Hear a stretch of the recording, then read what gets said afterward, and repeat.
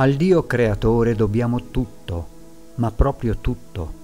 Non gli abbiamo chiesto di darci l'esistenza, ma se ce l'ha donata è senz'altro una cosa grande, inimmaginabile per la nostra stessa ragione. Noi tendiamo spesso a mettere in evidenza il dolore ed il male che subiamo ed operiamo.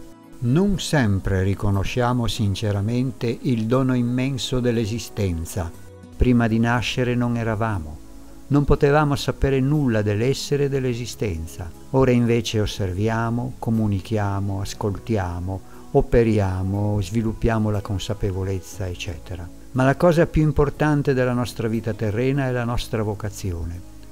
Dobbiamo evolverci superando prove e sofferenze perché siamo chiamati ad un livello di esistenza qualitativamente migliore.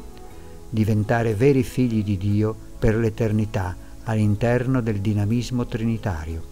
Non sappiamo cosa realmente ci aspetta, ma in Gesù Cristo sappiamo che risorgeremo ad una vita nuova e molto più consapevole.